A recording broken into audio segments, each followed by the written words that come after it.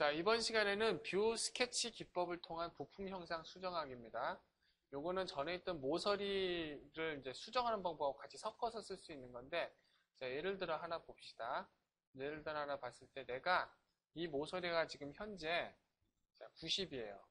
근데 얘가 나를 120으로 이제 고치고 싶은데, 부품에서 얘를 120으로 수정했더니 이제 다른 부품이 막 추가 feature가 터져서 형상이 작살난다거나 아니면은 뭐 다른 부품과 연관관계가 돼 있어서 이걸 당장 바꾸기가 어렵다. 근데 도면은 당장 얘가 90이 아니라 120으로 이제 어, 수정해서 내보내야 된다. 급하잖아요.